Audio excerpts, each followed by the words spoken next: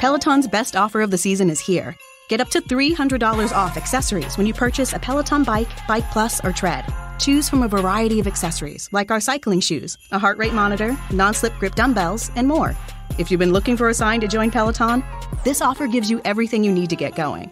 This limited time offer ends November 28th. Visit onepeloton.com to learn more. All access membership separate. Offer starts November 14th and ends November 28th. Cannot be combined with other offers. See additional terms at onepeloton.com.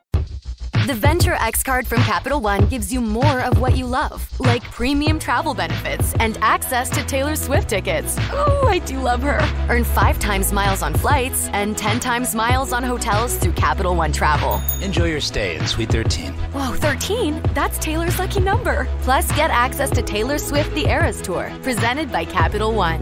Maybe I'll see you there. The Venture X card from Capital One. What's in your wallet? Terms apply. See CapitalOne.com for details. Hey everybody, Joel here at the top of the show. Troy and I are off this week for Thanksgiving. Happy Thanksgiving to everybody. In such situations, we like to air an older episode that we think didn't get the attention that it deserves. Troy's pick for this week is the episode on Henry Guinness. So if you missed that on the, the first go around or you're a new listener, enjoy this Revived Thoughts Selects. Revived Thoughts is a production of Revived Studios.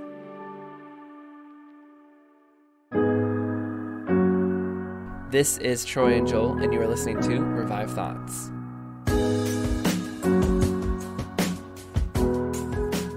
Do you want to know the key to the final perseverance of the saints? Love never fails. I do not mean the love in the bosom of the believer for Jesus, but the love in the bosom of Jesus Christ for the believer. He is the same yesterday, today, and forever.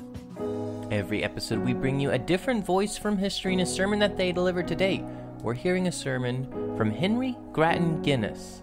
It was preached somewhere in the mid 1800s, and the title of the sermon is called Christian Charity Troy. We uh, we have something a little bit different this episode. I'm I'm kind of excited. Yeah, so we have a very interesting opportunity. I had, no idea that this gentleman uh, existed. So I, Henry Grattan Guinness is new to me, was new to me when I first started doing this, even though during his era, he was really quite famous, quite a well known name during his time. But if you clicked on this, there's a pretty good chance, listener, you also have never heard of this gentleman. And so while I was doing research on his, uh, one of his pages, I saw that he had a living relative, uh, his great grandson and that his great grandson was a Christian apologist, an author, and a speaker. And so I reached out to him. His name is Dr. Os Guinness. And I was like, oh, this is pretty interesting. And I, through uh, his publisher, we got connected, told him, hey, I'd like to do an interview with you talking about your great grandfather. And so, yeah, Dr. Os Guinness is the great grandson of this other gentleman, Henry Grattan Guinness, whose sermon we will listen to. And this was just an exciting opportunity. So I asked him if we could talk about his great grandfather, if we could uh, discuss a little bit his life, his legacy. And it turned out to be a really great interview. Henry Grattan Guinness is a really interesting person, and his sermon on uh, Christian charity that kind of comes back to Christian love, his exposition of 1 Corinthians 13 is really good. So, this whole episode, everything about this, I am very excited about it. It all turned out very, very well, and I think you're going to really enjoy listening to it. So, without really any more introduction, we're going to go ahead and jump into this interview that we did with, with Dr. Os Guinness about his great grandfather. Yeah, so we are on right now with Os Guinness. He is the great grandson of Henry Grattan Guinness, and he usually went by Henry Grattan, I learned. And Henry Grattan Guinness um, was his great grandfather, and, and he himself is a author. He's a speaker. He talks to audiences about Christianity and apologetics, and has a lot to tell us about. Um, can you tell us just a little bit about you know your relationship with him. Obviously he was your great grandfather um, but you, you, your entire family in fact was involved in missions and you yourself uh, you know were were born if i recall correctly in china and were there for the first few years of your life as well. Well many people associate my family and our name with beer which of course is right. The guinness beer in the book of records but actually, my ancestor, what we call the first Arthur, whose signature's on the back of the beer bottle, he came to faith in Christ through the teaching of John Wesley in the Irish revival in the 1730s. And he founded the first Sunday school in Ireland and did many, many things that make our firm distinctive, like pay and health care and so on. So there's been a strand of faith very strongly right down through the family on my side. So Henry Grattan, whom you mentioned, was his grandson. I'm descended from the youngest son of Arthur Guinness. And Henry Grattan had three extraordinary periods in his life. The first was revival, the second was missions, and the third was when he was involved in the restoration of the Jews to their homeland in what's now Israel. So he was an extraordinary character. And while there have been many biographies of people in our family, the odd thing is that in many ways he's the greatest, but there's no biography of him. Yeah, that was actually something I noticed when I was doing research on uh, this, you know, character on this episode to look into his life. He seemed like an absolutely really interesting man. I mean, if I recall correctly, Wikipedia, uh, just you know, the general Wikipedia article said something to the effect of like he's the great evangelist of this great awakening during this time. He helped send many faith missionaries out onto the mission field. And yet, I, I confess, before I ran into one of his sermons, I had not heard of Henry Grattan Guinness. He was not a name that I was that familiar with. And I, I don't want to say I spend all this time, I know all these things about all these great guys, but it is, I mean, this is a podcast where I enjoy church history. This is something I enjoy. And yet he was completely unfamiliar to me. Do you, what, why do you think that is? Why do you think that this particular uh, gentleman has kind of maybe been forgotten? Where, where, what happened to his legacy, if that makes sense? Well, he spanned so many different worlds, but I'm sure it wouldn't have worried him at all because he was doing it for the Lord, not for success or fame or anything like that. But in his time, he was considered, along with Spurgeon and D.L. Moody, one of the three great preachers of the 19th century. And he goes on down the line. He was a friend of Lord Shaftesbury. He was a close friend of William Booth, the founder of the Salvation Army. So he was deeply involved, but it did start, as you said, with revival. In the 1859 revival in Ireland, and Ireland was united then, he was the lead preacher at the grand old age of 23. So we have newspaper accounts, this isn't family stories, newspaper accounts of his standing on the top of carriages and speaking to 25,000 or 30,000 without a microphone. And of course the Spirit fell, there was conviction of sin, and many people returning to faith in Jesus. For example, in the year after the revival, in the north of Ireland, and as I said, Ireland was not a divided country then, there was only one recorded crime in the year after the revival. Wow. You know, the second great period of his life was missions. When he was 30, seven years later, after the revival, he met Hudson Taylor and invited Hudson Taylor to his Bible study in Dublin. And Taylor had just been out once to China and was recruiting young people to go with him. Well, half of my great grandfather's Bible study volunteered to go in that first ship to China uh, including my great grandfather and his wife. Wait, wait, wait. So can I? So were they? They were on that ship, that first ship back that went to uh, that would go to Shanghai, and then I believe they would end up going to Hangzhou. Is that is that correct? They were there. No, they weren't, and I'm telling you. Oh, okay, I was just curious. you jumped ahead. You're right. The ship was the Lammermuir. But when he volunteered to go, Hudson Taylor said to him, You can't. You're too old at 30. Now, as China in those days was too rugged for a 30 year old or someone older. But Hudson Taylor said to him, You stay and send missionaries out to us.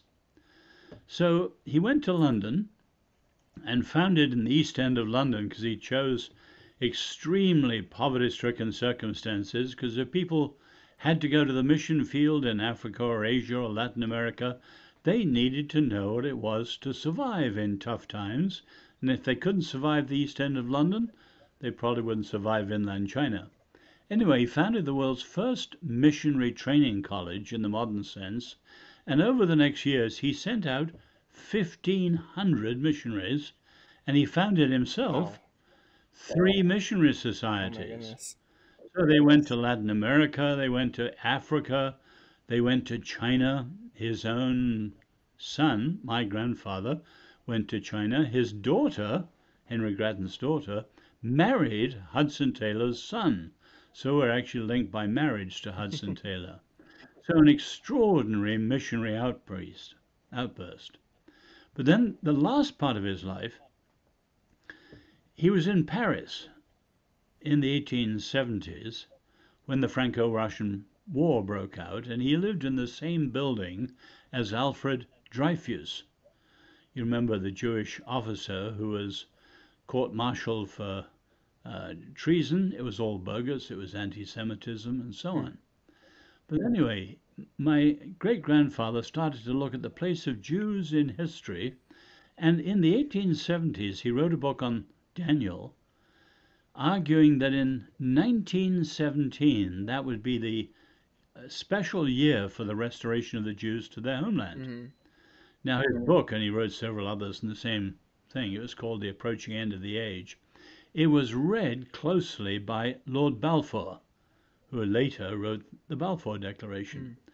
And it was read by General Allenby, who was the man who liberated Jerusalem. My great grandfather actually died in 1910, so he didn't live to see it.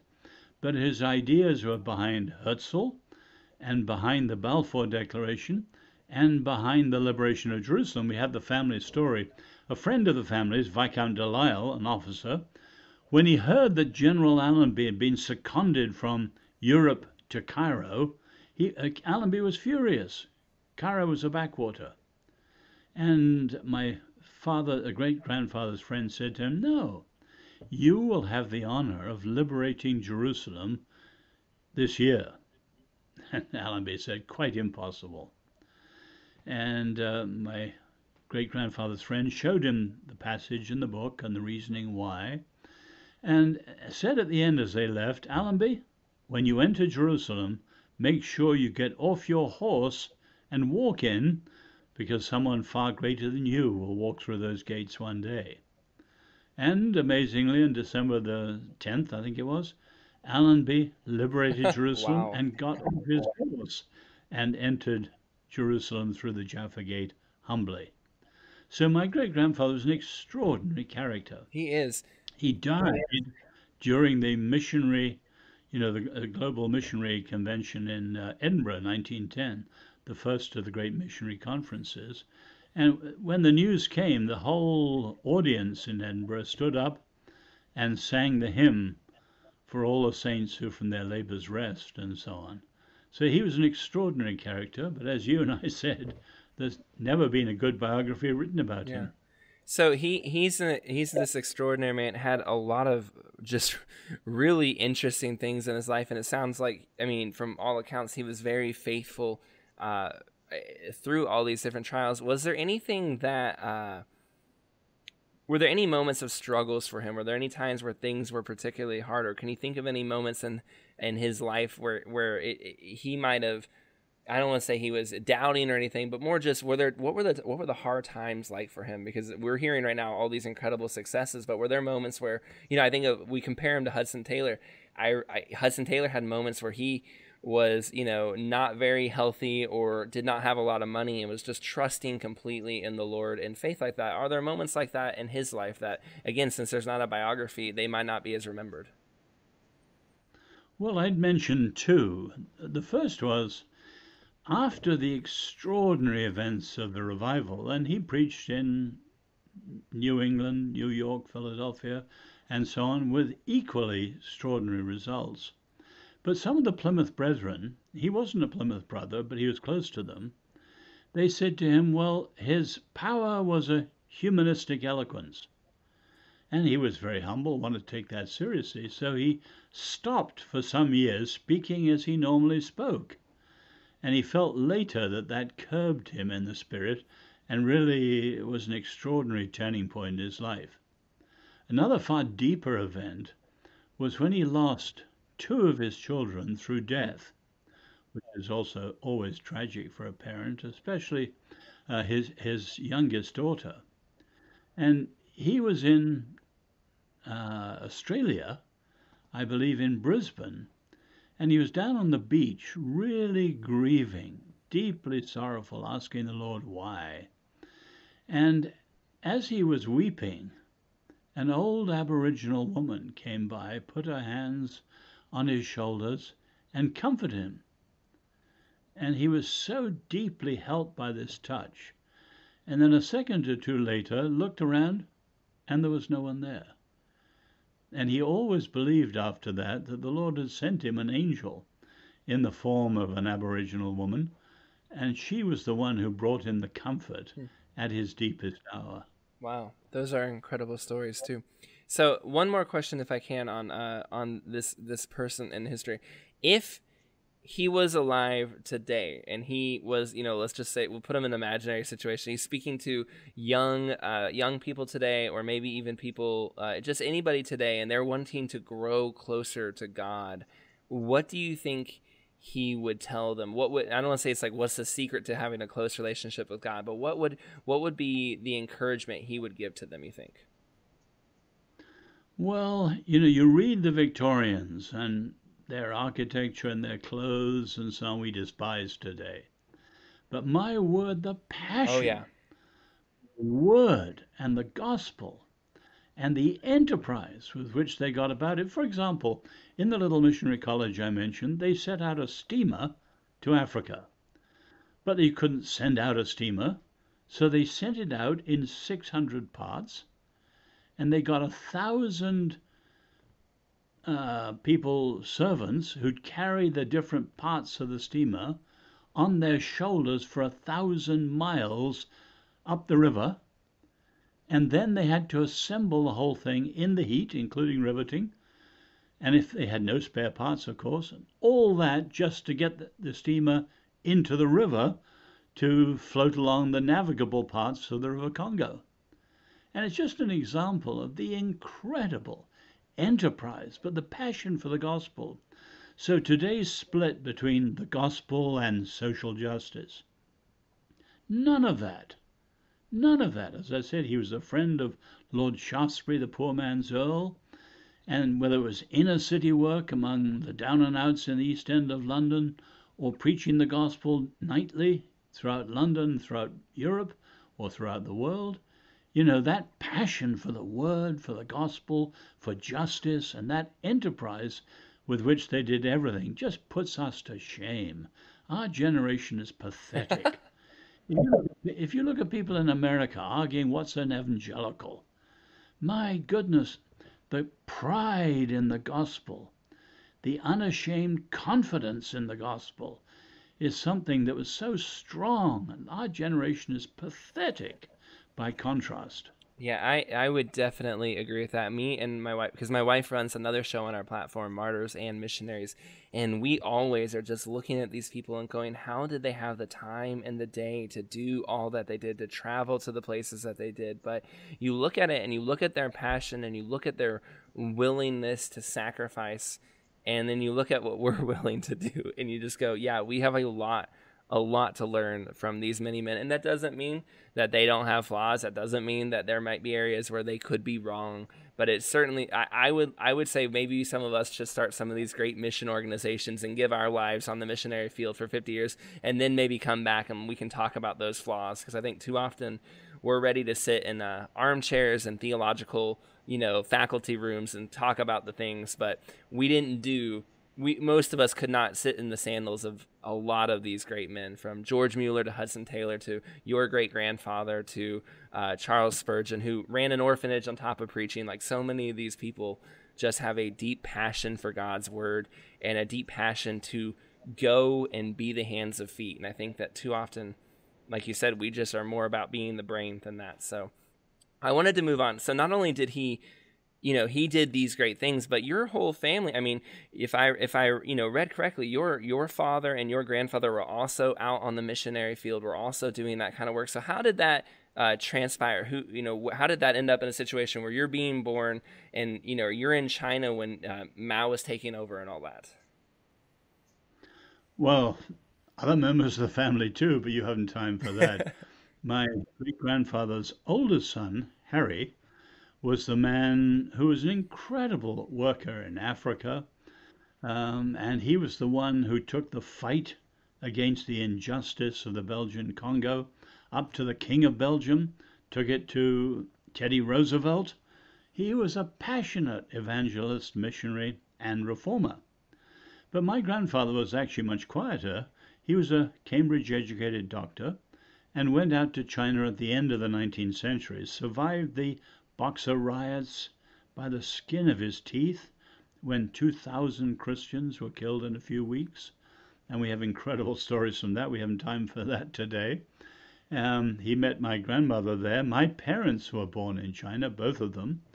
And I was born in China during World War II, as were my two brothers. So we lived in north central China with the Japanese army on one side, who'd killed 17 million, and the Communist army on the other side, and the Nationalist army supposedly protecting us. And we were caught in a terrible famine in 1943. Locusts, no food, five million died in three months, including my two brothers. And when my parents and I took to the road to try and find food and to escape to the west of China and get out, there were 10 million refugees on the road. Cannibalism, people selling their children for an evening meal, horrendous circumstances. And then my parents went back to what was then Nanking, Nanjing today, which was then the southern capital. By that time, I was well aware of what was going on, and as, as a seven year old, I was in the climax of the Chinese Revolution. So my parents lived through war, destruction, famine, death, and then revolution and the reign of terror, uh, all with a quiet trust in the Lord. My goodness, I feel like your entire family, and I'm, you know, obviously sorry for the things that happened, but I feel like your entire family has lived through and experienced uh, so much. Is there anything? you know, from these experiences, anything that you personally have learned from them or something that you you would tell people who you know most christians most uh, people in america have not lived through those circumstances. Is there anything you would say about yeah, about those circumstances or about how god works in those circumstances? Well mention a couple. One that's absolutely relevant to today. Uh, as a seven year old i was in the chinese revolution the communist revolution of the mid 20th century, 1949. When I was at Oxford many years later as a graduate student, I had dinner one night with Sir Isaiah Berlin, the great Jewish philosopher. And it turned out he'd been a seven year old in the Russian Revolution, and I'd been a seven year old in the Chinese Revolution. And as we compared notes, this is the early 70s, mid 70s, we thanked God that the English speaking people had stood against totalitarianism, Hitler, and so on. But at that time, it was unthinkable that America would ever be touched by radical socialism, let alone by any form of Marxism, because Americanism was considered the surrogate, the alternative to all these crazy ideas. So imagine my coming to America today to see cultural Marxism, not classical, cultural, taking over so much of the American universities and now the media and politics. So that's one thing. But at a far deeper level, Troy, my parents lived through incredible times, but they were always realistic. This is life in a fallen world. And in all those years, I never saw them with anything but a quiet trust in the Lord. And my dad used to say, God is greater than all. He can be trusted in all situations. Have no fear. Have faith in God. And that's never left me. We're living in chaotic times in Washington, D.C. now, but nothing compared with the times in which I grew up. But the same thing is true. While some people are demoralized and disconcerted and doubting, I say again and again have faith in God. Have no fear. Amen. Wow. It. I hope. I, I first one. I, I, imagine if you are listening right now, you are thinking the same thing, listener. I feel like I'm talking to like almost like a little bit of a revived thought speaker, kind of coming to life here, because we hear about we go through the church history of all these different guys all the time, and we're it's it's just always incredible to hear just what strong faith they have and the circumstances they go through, and just the way they just seem to be unshakable and yeah, they may have moments of doubt, but it just seems that God always pulls them through. And speaking with you and hearing that story, I I, I don't know. I just feel like I'm kind of having a conversation with one of those guys. It's very cool. Uh, as just kind of, but, oh, go ahead. Got time for one yes, story that's yes. the absolute to us? My great grandfather's mother. You know, 1815 in Dublin, that was the year of the Battle of Waterloo and the defeat of Napoleon. A young Dublin councillor insulted Daniel O'Connell, the great Irish politician. The only recourse was a duel. The trouble was the councillor was a crack shot, O'Connell was a duffer with guns. But they met on a snowy day outside of Dublin, and to everyone's amazement, the councillor missed. He probably aimed wrongly so as not to kill O'Connell. And O'Connell, equally surprisingly, hit the man and killed him. Well, the man's widow in her early twenties, was left with daughter, a scandal, bankruptcy, and in terrible situation. And some years later, she went over to Scotland trying to commit suicide, thinking of committing suicide. Heard a ploughboy singing and whistling hymns, and was ashamed of what she was thinking of doing. Crossed the river, talked to him, went back to Dublin, came to faith. Here's the point she met and married my great great grandfather, who had fought with Wellington. And her prayer from then onwards, every day, the family journals show us, she prayed for 10 or 12 generations of wow. us. And so much of the family, of the rest of the family, got incredible wealth, and it undermined their faith. Our part of the family, and Henry Grattan was her son, our part of the family has kept the faith ever since. In other words, biblically, we should think generationally. Generations are the pulse beats of humanity. Whereas in America today and much of the West, we're so aware of each generation being so different from all the others the boomers, the millennials, all this stuff that they're completely cut off from the others. It's a generational thing you wouldn't understand. Hmm. That's nonsense. And I thank the Lord that the Guinness family has a great sense of generation, and much of it owing to this great woman's prayers. You know that Diderot, the great French Enlightenment thinker, said that the Enlightenment in one word was reason. And I think as Christians we say, thinking of God's faithfulness down the years, the Christian faith in one word is grace. So I'm terribly aware of the family heritage, rich in faith, and God's grace.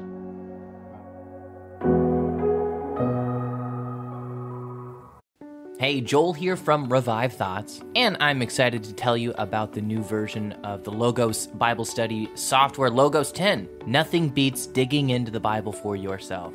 After all, there's life in the Word of Scripture. But if your Bible study habits have been stale or maybe non existent, where do you even begin? The newest release from the leaders in digital Bible study, Logos 10, takes you beyond Bible reading into deep studying of the scriptures. And it's good for everything. What do you want to do? Do you want to study the word more in depth, prep for a sermon, understand difficult passages, start and actually finish a Bible reading plan? Do all that and more with study tools and a huge theological library, all in Logos 10. With it, you can uncover biblical insights whether you have five minutes or five hours. And the new Logos is lightning fast on desktop, web, and mobile. It has a sleek, modern, updated look that helps you focus on what really matters Scripture. Live in the Word with Logos 10. Visit logos.com forward slash thoughts to find the best Logos package for you. Science proves quality sleep is vital to your mental, emotional, and physical health. The Sleep Number 360 smart bed senses your movements and automatically adjusts to help keep you both effortlessly comfortable. And it's temperature balancing, so you stay cool. So you're at your best for yourself and those you care about most. Life changing sleep, only from Sleep Number. It's our Black Friday sale. Save 50% on the Sleep Number 360 limited edition smart bed, plus free home delivery on all smart beds when you add a base. And Cyber Monday. To learn more, go to sleepnumber.com. At the Home Depot, we have Black Friday savings all through November. And with that comes a joyful holiday bustle that we just love to hear. Although we also love the sound that comes after the holidays when people put their new tools to use. In fact, we love it so much. When you buy select Milwaukee M18 kits, you'll get an extra tool for free. So after you're done filling the air with holiday magic, you can fill it with the sounds of doing. The Home Depot. How doers get more done.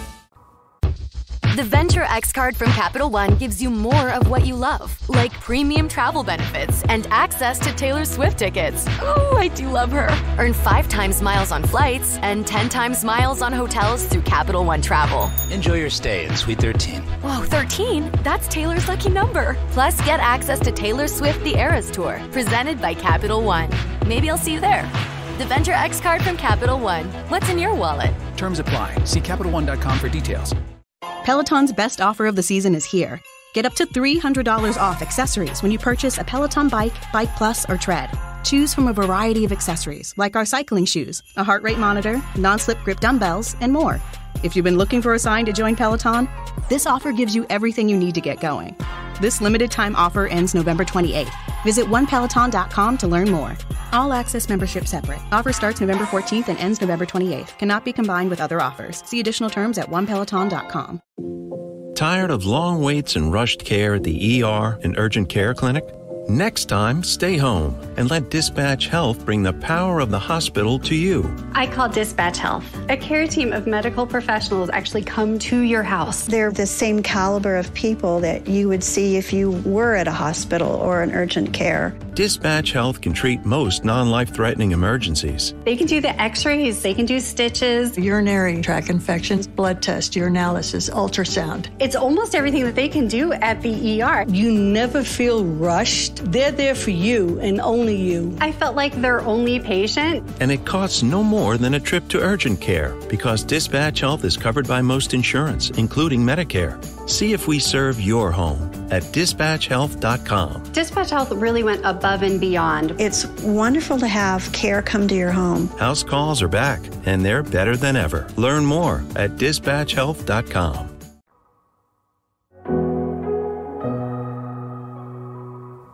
that very powerful story and I, that is man all right I, I, really appreciate you coming on. This was really really i really really edifying and really really encouraging. I i one I, I will i will be asking you when this is over. We're gonna have to have you on again. Maybe have one of your other uncles or grandfathers on and look at their sermons as well to see how we can get you back. But uh, for anyone who enjoyed this interview and who's wanting to learn more about you you write books. Can you tell them about a book that you are working on or maybe recently published that they can learn more about you and where they can find you well, my best selling book by far is simply called The Call on Meaning and Purpose in Life. But my most recent book, and it's the third in a series on freedom, is called The Magna Carta of Humanity. And it's on what I call the Sinai Revolution how Exodus and Deuteronomy are the roots of the American Revolution. Many Americans don't know that. The notion of constitution came from Exodus, the covenant. All right, we hope that you will check him out. And next, we are going to listen to a sermon uh, by Henry Grattan Guinness, who we mentioned earlier in this story. And uh, you're going to get a chance to listen to that. And we thank you so much.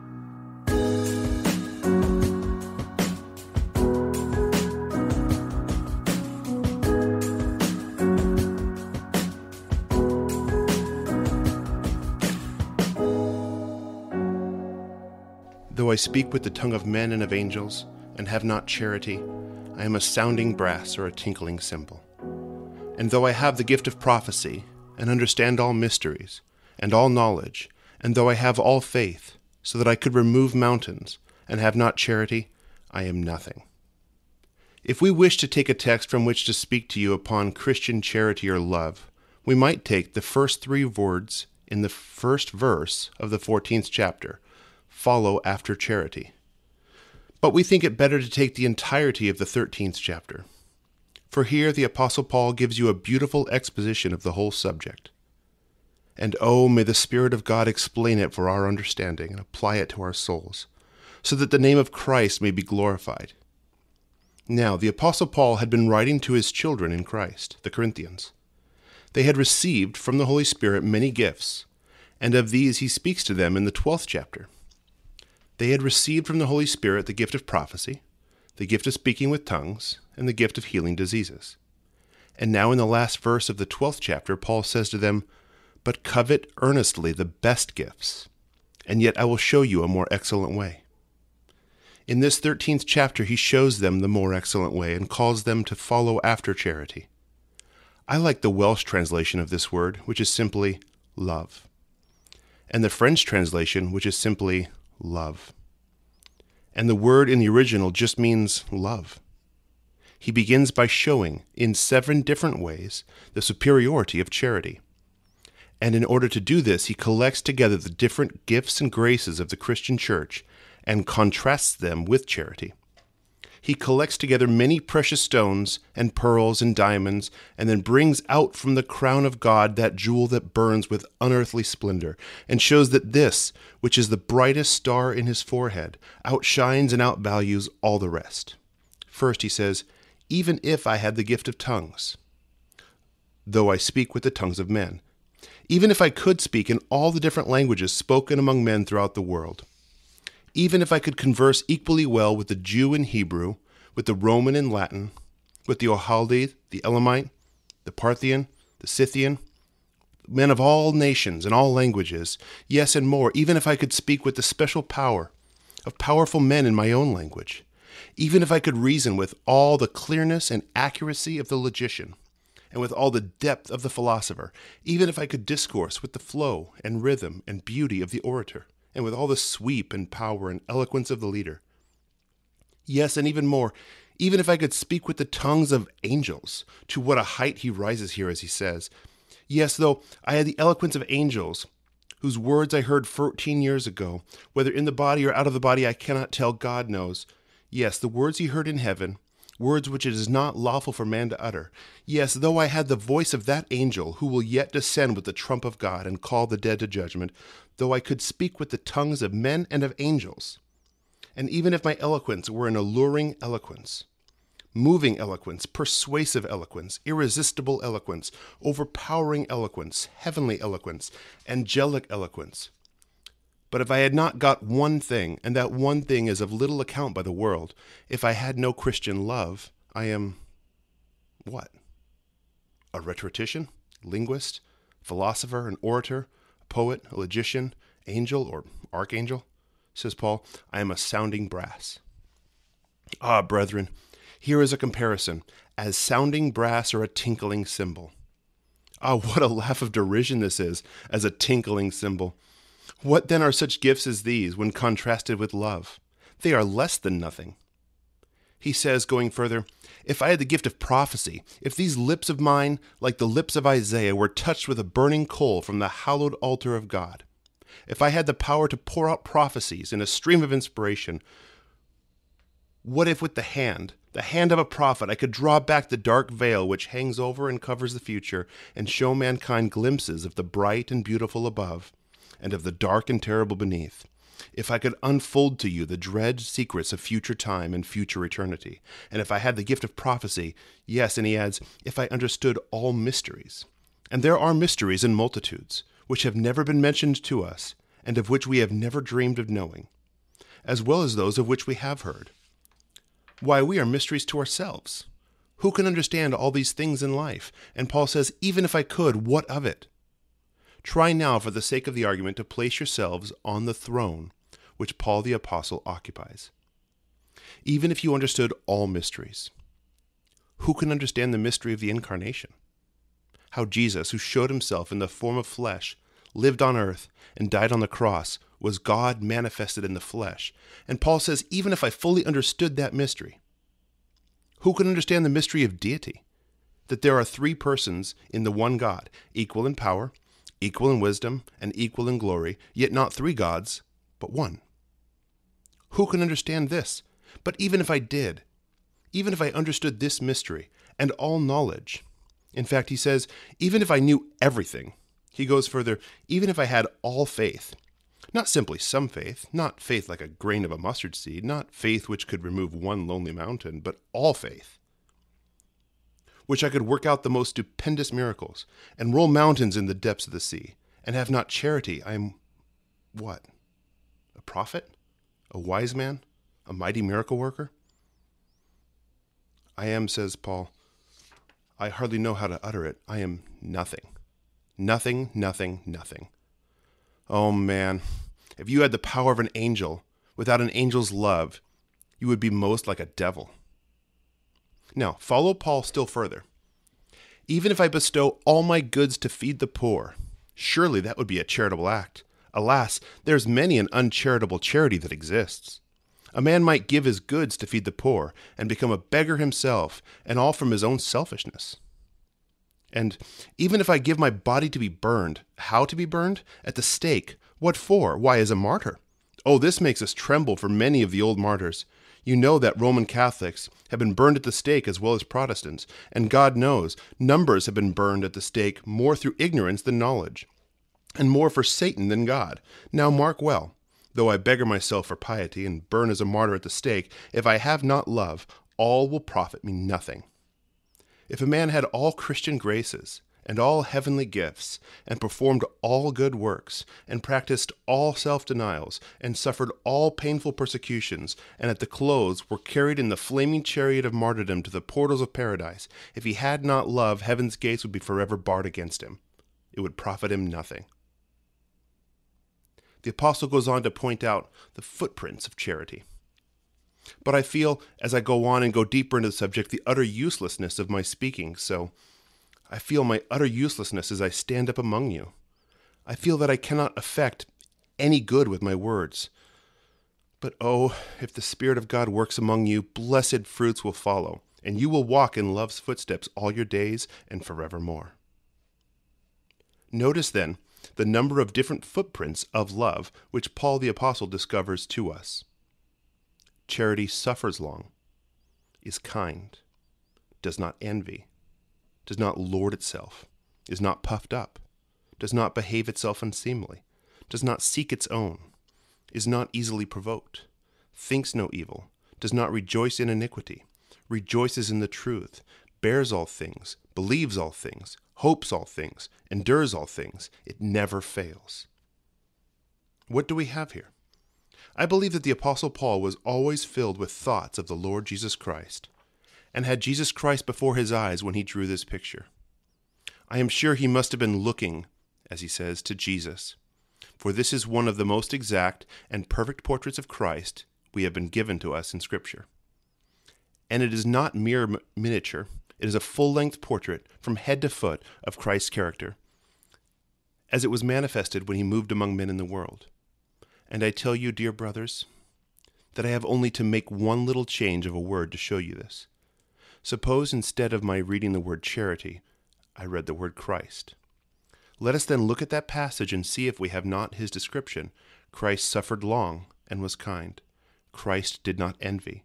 Christ did not vaunt himself, and he was not puffed up. Christ did not behave himself unseemly. Christ did not seek his own. Christ was not easily provoked. Christ thought no evil. Christ does not rejoice in iniquity. Christ rejoices in the truth. Christ bore all things. Christ believed all things. Christ hoped all things. Christ endured all things. Christ never failed.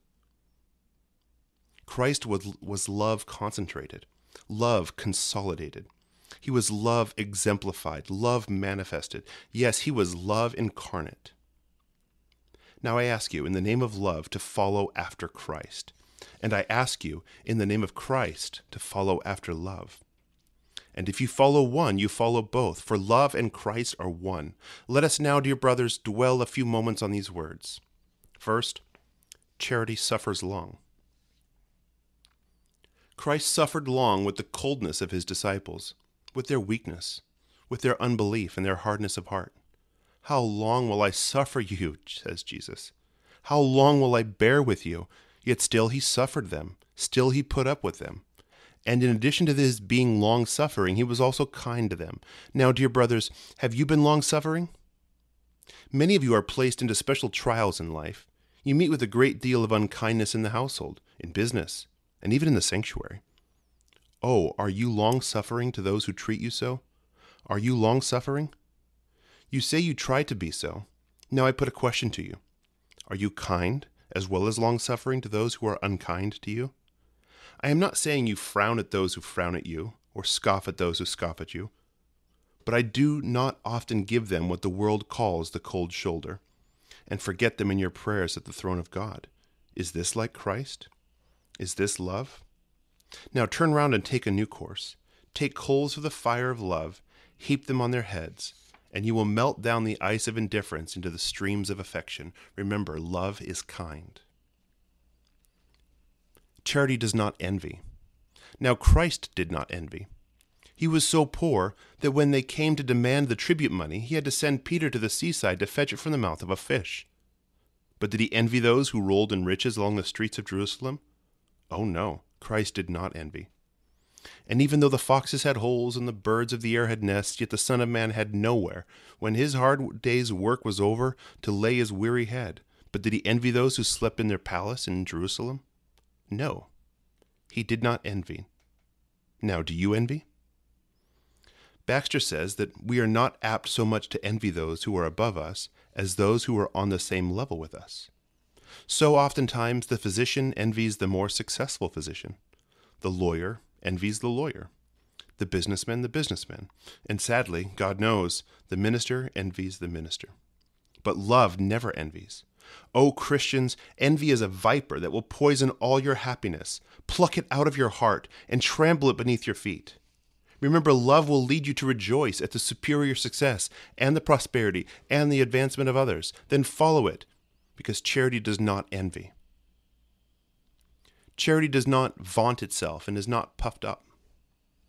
Now, Christ never vaunted himself, but you say, did he not sometimes speak of his glory? Yes, but that was not vaunting himself. Suppose that in that glass globe there burned a light. If I were to wrap around it a thin veil, would you wonder at the light streaming through? You say, no, and when the glory of the indwelling Godhead was covered with the marred veil of the body of Jesus, do you wonder at the beams of glory that sometimes shone through? And we will vaunt ourselves when Christ never uttered one boastful thing about himself. O saints and sinners, why is deity clothed with humility, and the dust covers himself with pride? God forbid. Pull down your pride from its pinnacle and bury it. Bury it forever. Bury it quickly out of sight. O oh, brothers, the heavenly Jesus humbled himself and endured cross after cross, shame after shame, until he bore the shame of shames and the cross of crosses, being put to death as a vile and guilty criminal, crucified between two thieves on Calvary. O oh, brothers, this is he who descended from the throne of God and knelt before a few poor fishermen to wash their feet. And this, that he might set in a frame of never equaled glory the loveliest picture of humility ever painted, and exalt it to the everlasting admiration of all the earth and heaven. How abominably proud many of us are, how we scorn to notice those beneath us, how enraged we feel if by chance a poor man is sitting in our pew. How often do I see you behave this way? Sometimes a minister is too busy with the effort he makes to preach to observe what is going on in his congregation. But when the whole congregation is very still and attentive, an observant minister sees the least movement anywhere and he often sees the proud, and those who come in with a gold ring and with their best apparel say to the man, to the poor man who comes in, as James admirably describes it, in vile clothing, You stand there, or sit here under my footstool. The aisle or the free seats are good enough for them. Why? Is it not the great difference between the rich and the poor simply the external one? The dress, the trappings, and the appearance? Surely all of these are external, carnal, materialistic. Do you not remember that in old times Christians greeted each other with a holy kiss? And do you think the poor people merely kiss the poor and the rich merely the rich? But now the rich man draws on his gloves and offers his finger to a poorer brother, and would not be seen noticing the very poor in the streets. Is that apostolic? Is that Christ like? Is that what we call being clothed with humility? But the people who act like this are those who corrupt the church. Ah, lukewarm Laodiceans, Beware, or God will spit you out of his mouth. O oh, humble love, let me walk with you in the steps of Jesus, who did not vaunt himself and was not puffed up. Love, says Paul, does not behave itself unseemly. I am sure that this was the case with Christ. His words, his looks, his actions were all right because Christ's words were words of love. Christ's looks were the looks of love, and Christ's actions were the actions of love. Oh, where is the man besides whose words breathe such love, whose looks shine with such love, and whose actions testify to such love? There is none. But let us not despair. Let us imitate this pure, modest, angelic love that does not behave itself incorrectly. Love, says Paul, does not seek her own. In leaving heaven, Christ did not seek his own. In all his preachings, in all his prayings, in all his watchings, and in all his weepings, all his sufferings, he wished for our good and his Father's glory. He did not seek his own. And I tell you that now he has gone home to God and heaven, he still continues to seek our good. For whether you wake or sleep, eat or drink, labor or rest, live or die, Christ prays, prays, prays, prays prays by day and night from age to age, and will continue until the last saint is gathered home to God, and until the last tears are wiped away from the eyes of the last mourning saint. For he ever lives, not to seek his own, but to make intercession for those who come to God by him. Oh, the beauty of the love of Christ! What an amazing contrast between our conduct and his. Oh, where will we see those who are not selfish? Where will we see those who are self forgetful? I look around me and I find that the great moving principle that keeps this world going, whether it is trade, politics, religion, is selfishness. I have no hesitation in saying that. In trade, in politics, and in the religion of the bulk of professors, this is true, and so it is sad that we are the delight of devils and the grief of God. I warn you earnestly against selfishness. But there are some of you who live for nothing but self. Oh, that you do rise early and labor late, simply that you may fill yourself and collect a little of the dross of this world, and you are unaware of the crown of life held by the angel above your head. Put away your shovels. God has something better to offer you than the world has. Within your reach there are riches such as man never dreamed of. But if you turn away from heaven's open gates, the end of these things will be most miserable. If you will live a worm's life, you must die a worm's death for selfish sinners that go groveling all their days are crushed at last under the foot of vengeance, for the end of these things is death. Love, says the Apostle Paul, is never provoked. He does not say that, for it would be false, but he says, Love is not easily provoked. It was because Christ was not easily provoked that man dared to harm him. If he had slain those who mocked him, as he slew those who mocked and persecuted some of the old prophets, men might have ceased to trouble him. But he came not to destroy, but to save, and never was he provoked, even by the most aggravating insults and violent interactions, to utter a curse or strike a blow. And perhaps some of you go on in sin because he is not easily provoked against you. Is he not, you ask, the Lamb of God? But let me tell you that there is such a thing as the wrath of the Lamb and that there is no wrath so terrible. That expression, the wrath of the Lamb, is perhaps the most black and awful one occurring in the whole Scriptures from first to last. It is true, O sinner, that wrath is not easily provoked. You may go on in sin for a while. You may try to limit Christ's patience, but I tell you solemnly that the last sin that God permits you to sin, and there is a measure known to God which you will not surpass, there is a boundary fixed beyond which you will not go. And when you have committed, I say, the last sin which God permits, then wrath will come upon you completely. Oh, it is a hard to stop the floodgates of the wrath of God, but your last sin will do it. And as sure as God made you, God will destroy you. You will die in your sins. Turn from the error of your ways. Oh, cease to provoke God to anger. And oh, take shelter under the cross of Christ, and you will not die, but live, says the Lord. And now I ask you, brothers, in the name of God and by the gentleness of Jesus, not to be easily angered with each other. If it is possible, live peaceably with all men, even the most unkind, stubborn, and passionate. Remember, if God bears with that person, then you can. And more than that, return every curse with a blessing, and pray for those who spitefully use and persecute you. Love, says Paul, thinks no evil. He means love puts the best spin on someone's actions and language and looks and on the lives of others. Where it is possible to think good of another, it thinks no evil. It does not mean to say that love never sees sin in others. Love is often more sharp sighted than hatred. Why, Christ, who is love itself, is not blind to the sin of others.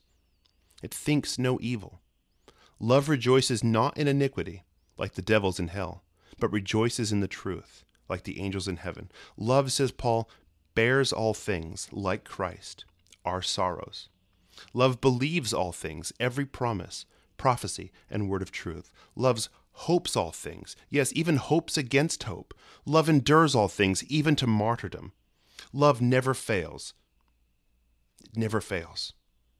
There is a rock I rest on.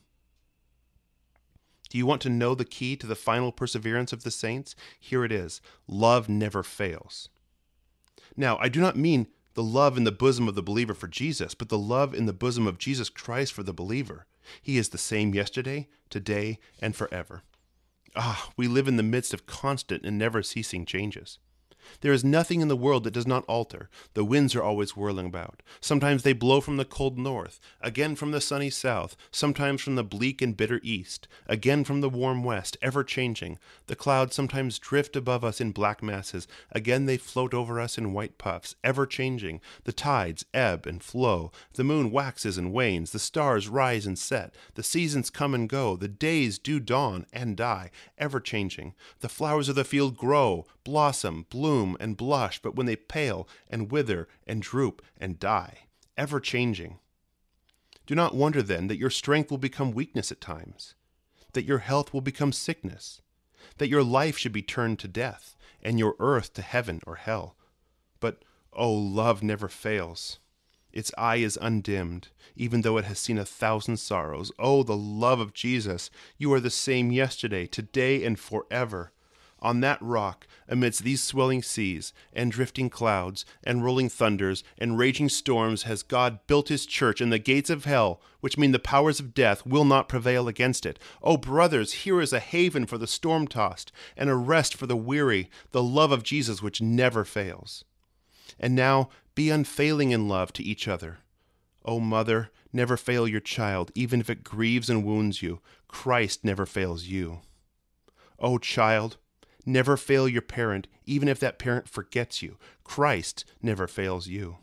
O husband, never fail your wife, even though she sins and wanders from you, for Christ never fails you.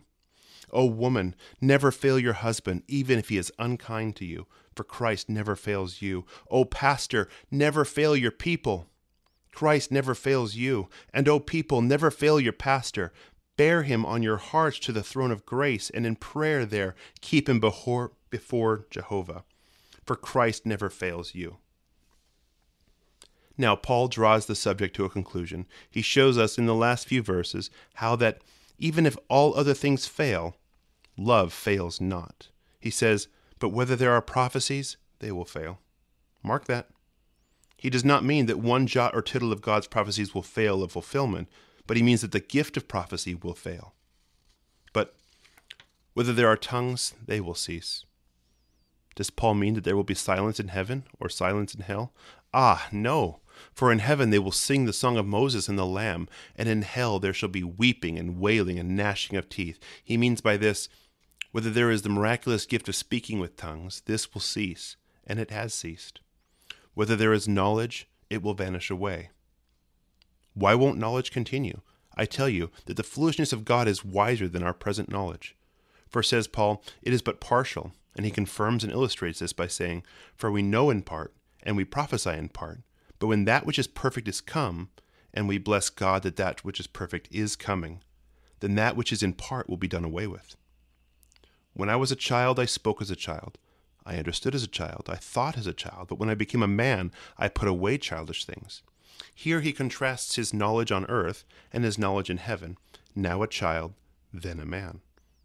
But though this is the child Paul speaking to us, there is nothing childish in what he says, for it is the wisdom of the Most High he utters, God speaking to us by his child's lips. Ah, brothers, what children we are still!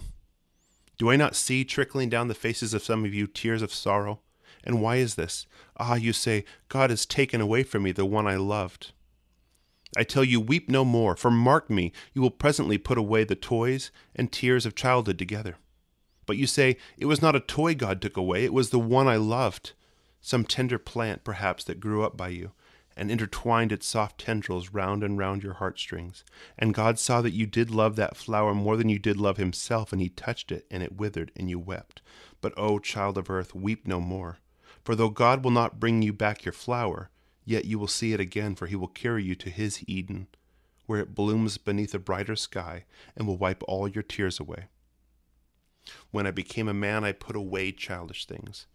For now we see as through a glass darkly. What is the meaning of this? Glass was not known in the days of the Apostle Paul. The word simply means a mirror. For now we see in a mirror darkly, or in a riddle, as some read. Now turn to the third chapter of 2 Corinthians, and you will find a verse that will give you some light.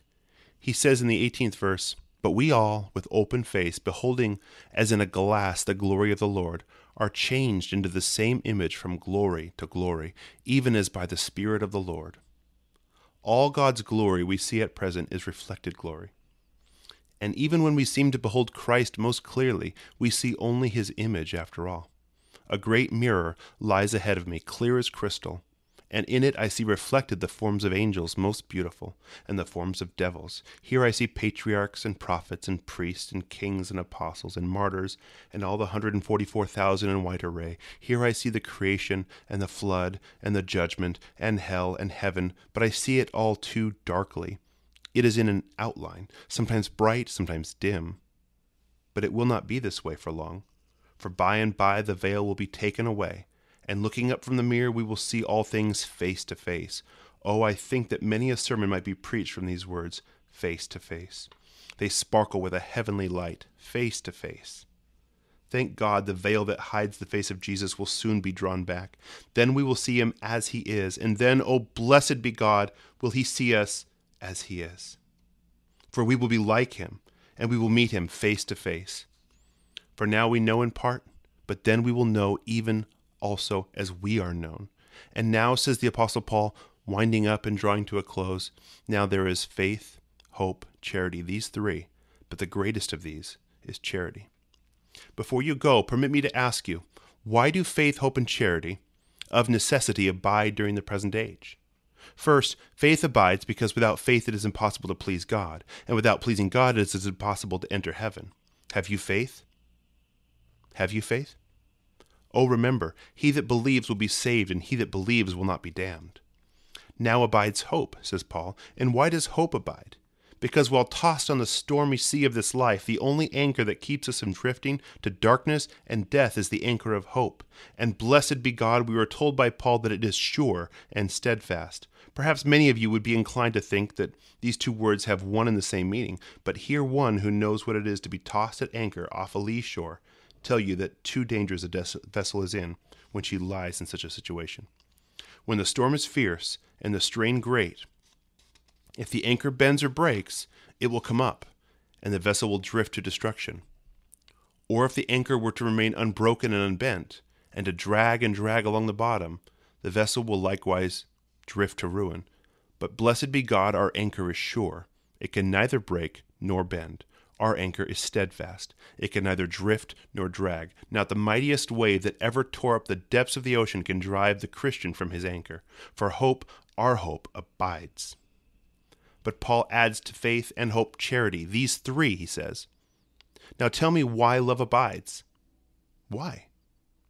The fact of it is that the first, second, third, fourth, fifth, sixth, seventh, eighth, ninth, and tenth commandments given from the smoking summit of Sinai that trembled beneath the weight of God's glory. Yes, these ten commandments are all, every one, embodied in the eleventh commandment love.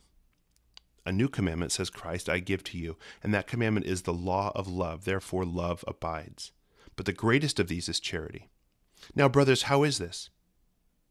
How is charity greater than faith and greater than hope? I believe for this one reason just because love will live when both faith and hope are dead and buried. Now, do not mistake me.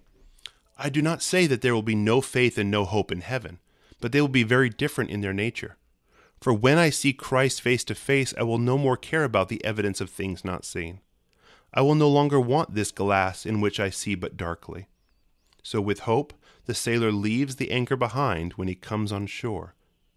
But even if we will no more want this faith and this hope, yet faith and hope will be in heaven, but so transformed that you will hardly know them. For they will have wings there, and one will sing before the throne, and the other the other will gaze on into that future, but oh this love will be there, grown from childhood to manhood, but still the same love. For the greatest of these is love. Oh, brothers, I could fancy faith and hope and charity coming for the first time to the gates of heaven. Christ has been preparing the many mansions, but they are still empty. An angel stands watching at the gates, and presently faith comes up and knocks. The angel opens the gates and says, Who are you? Says Faith, Angel, it is I. Oh, Faith, says the angel, there are no blind eyes, no dumb tongues, deaf ears, or dead souls in heaven there are on earth. Go back. Open the eyes of the blind, unstop the ears of the deaf, loose the tongues of the dumb, and raise the dead and guide them to this gate, but you cannot enter here. And the angel closes the gates. Another, Hope, comes up and knocks at the gates, and the angel opens them and says, Who are you? Says Hope, Angel, it is I. What do you hold in your hand? says the angel. It is my candle, says Hope. Oh, Hope, says the angel, your light would die here in heaven as a dim candle dies at noon. For here the Lord is our everlasting light, and God our glory. But there are dark valleys of sorrow and of death on the earth. Go back. Light poor pilgrims through the darkness to this gate, but you cannot enter here. Presently love comes and knocks at the gate of heaven. The angel rolls them back and gazing, gazing with admiration on love, he says, Who are you? says love. Angel, it is I. Oh, love, says the angel. Come in, come in. You may enter here, and behold, behold your throne. It is the throne of God. And the angel closes the gates, for the greatest, the greatest of these is charity. Now, in conclusion, let me bind up two arguments in two sentences in order that you may see the superiority of love. You cannot say heaven is faith. You cannot say heaven is hope. But you can say heaven is love. Therefore, the greatest of these is charity. Now, take one more, still better. You cannot say God is faith. You cannot say God is hope. But you can say God is love. Therefore, the greatest of these is charity. Now, with overwhelming power, do these words come to your hearts and consciences Follow after charity, that you may follow after long suffering, kindness, humility, modesty, and gentleness, and purity, and joy, truth and submission, faith and hope, and endurance and unchangeableness. Oh, follow after charity, and it will lead you up that ladder Jacob saw in dreams to glory where you will breathe the atmosphere of love, and walk in the light of love, and wear the crown of love, and dwell with the angels of love, and commune with the saints of love, and speak the language of love, and sing the song of love, and see the Lamb of love, and dwell with the God of love, and all forever. O sinner, the blackest sin of omission you can commit is not to love God. Stop and listen before you die in your sins. Unless the love of God is shed abroad in your heart, you perish without hope in hell. God offers to do this by his Spirit for all who come to him through Christ. Hear God, O man, hear God, O woman. As I live, says the Lord, I have no pleasure in the death of the wicked, but rather that he turn from his wickedness and live. Turn you. Turn you.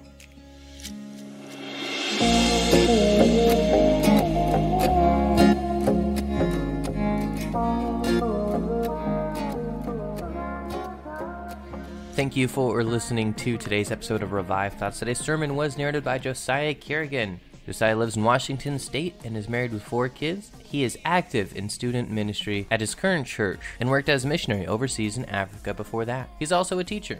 If you enjoyed this sermon, if you enjoyed this episode, and hopefully the opportunity to listen to Dr. Os Guinness, he actually, uh, in over 100, you know, around 150 episodes into the show, he is the first living relative or descendant on our show to speak a sermon, or sorry, to do an interview about their living relative. And I almost lied and said he's the first living relative, but that is not tr- technically true. Uh, we had a recent uh, Thomas sorry, sorry, we had a recent Charles Spurgeon sermon that was actually spoken by Joseph Spurgeon, who is a distant relative of Charles Spurgeon's. And now we can officially say uh, we've had somebody come on to talk about their great grandfather. We hope you enjoyed that. It's a fun part of history. Sometimes you get to actually talk to people who, you know, are in the family. That's pretty cool. And we got to learn more about who this gentleman was who did so many different things and was very influential in his time. If you enjoyed this episode, we just encourage you, ask you, share it, tell people about it, let your friends know, send them a link and say, hey, you might find this interesting, or just tell them about it in person. Say, hey, there's this show called Revived Thoughts. Check it out. They had this really interesting interview, something like that. It goes a long ways. Our show grows through people telling others about it and letting them know. And our show has been growing thanks to God just putting it on people's hearts to do that. This is Troy and Joel, and this is Revived Thoughts.